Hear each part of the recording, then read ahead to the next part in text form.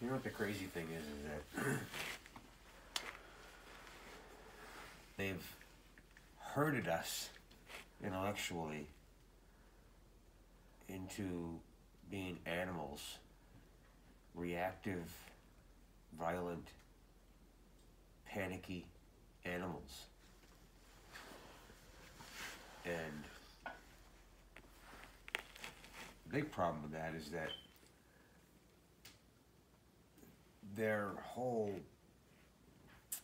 rationalization for thinking for the masses because they know what's better for the masses than the masses do because they're a bunch of reactive, violent, panicky animals.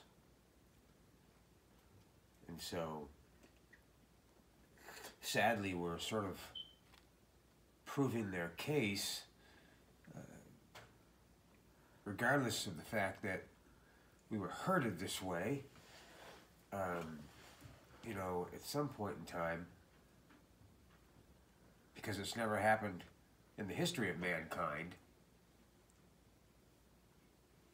some civilization is going to rise up and take their sovereignty and their rights and their power back. I, you know, hasn't happened yet, ever in recorded history. And it's just, it's crazy that it, you know, people are playing Candy Crush and, you know, Fortnite and whatever, you know, and they're awesome, awesome. Of course, yeah, they're awesome. It, you know, it, and you know, did the, the person that created Candy Crush was that a person that wants to the New World Order? Probably not, because at this point it's so ingrained in society. Uh, you know, it's these are all just happenstances of what mankind desires. Desires are not something that should be fulfilled perpetually. That's bad for mankind. Needs should be fulfilled perpetually. Desires should not be. And so, you know, since Edward Bernays, the nephew of Sigmund Freud, intervened into advertising of products back in whatever it was, 1913, whatever it was,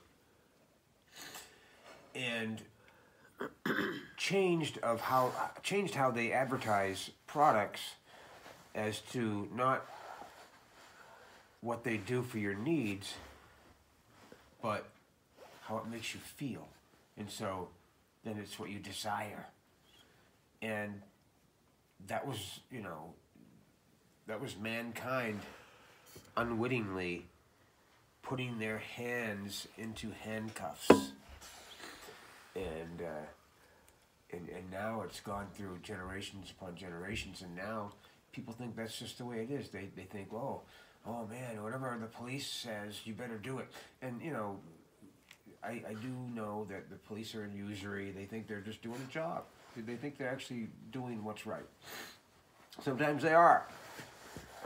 But, you know, they're still just employees of a corporation trying to contract with you, whether they know it or not. The sad thing is, is we don't know it, and we don't know that we can politely refuse that offer to contract. And that's all it is. And if it gets to the point where you have to sign the ticket, then you know you should autograph it and correct sentence structure, parsing, syntax, grammar. But you can also just sign it in cursive, which is you know the language of the cursed or the dead. But that's fine. Um, you know, but underneath or over your signature, you write without prejudice UCC one three zero eight, which is your reservation of rights.